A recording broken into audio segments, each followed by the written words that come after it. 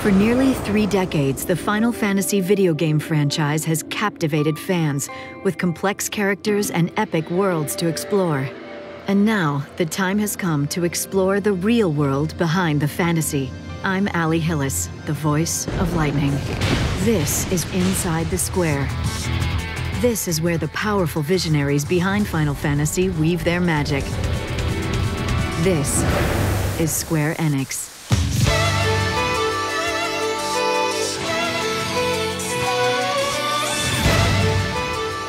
映画とか子供の頃から好きだったのであのやはりゲームの世界でもその映像が綺麗だったりストーリーがこう、えー、ドラマチックだったりっていう部分で、えーとえっと、ロールプレイングゲームっていう部分に非常に惹かれてったってのありますね。まあ、その特に「ファイナルファンタジーは」あの映像とストーリーにあの特に凝っていましたので、まあえー、そこの仕事として就職したという形で、えーまあ、そこからゲーム制作に関わって今に至っているという感じですね。Hello, Lightning. Welcome home. ファイナルファンタジーってこうシリーズまあもう25年やっていていろんなこうファイナルファンタジーの中でもいろんなこう幅のある作品があるので It's the most successful role-playing game franchise in history with sales of over 100 million games. Since the first game on NES, Final Fantasy has grown to include 15 numbered games across all major gaming platforms.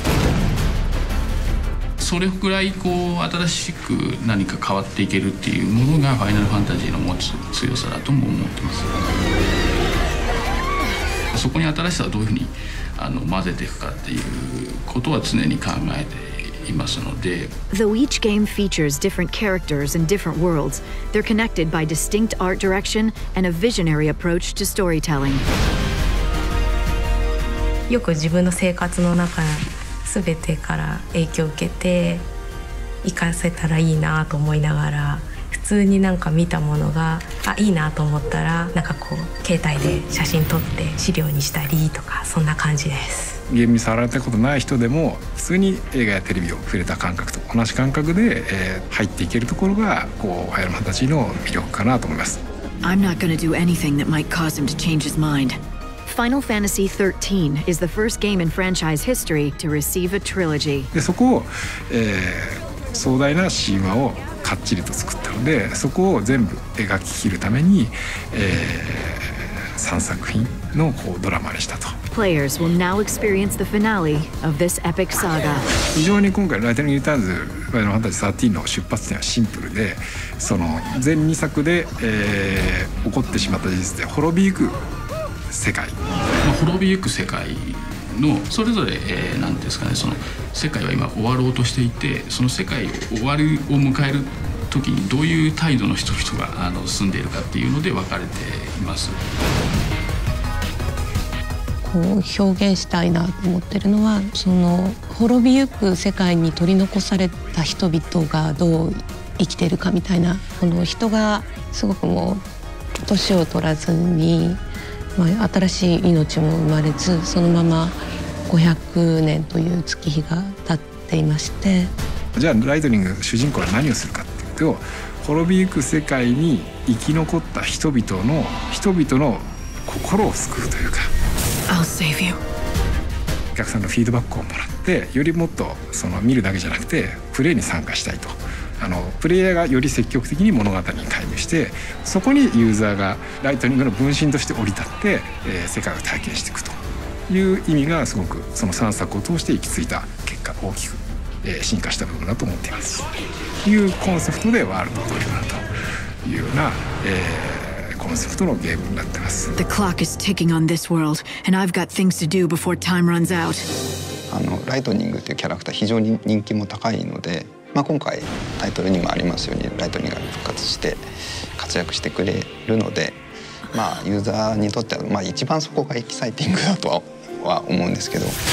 キャラクターの魅力とキャラクターのこうなんですかねアクションの魅力っていうのがあると思うんですけども、えー、そこに関しては今回の「ライトニング・リターンズ」も RPG ではあるんですけど1作目2作目とは違ってそのアクションゲームかのように強化されてるのがあるのでそれぞれ過去のキャラクターたちも登場してまあ、あのそれぞれキャラクター性にクローズアップしたあのイベントというかあのシナリオになってると思うんで、まあ、その辺があの楽しんでいただけるんじゃないかなと思いますけど。なんか今回はあのずっとサポート役のあのホープ君がいるんでその彼との関係とかにちょっと期待したいなと思ってたりしますけどどうなのかちょっと楽しみです。マリナ非常にこうキュートなキャラクターで非常に大きな運命を背負っていて見た目よりもすごくしっかりしてるキャラクターです、えー、最後どうなるかはちょっと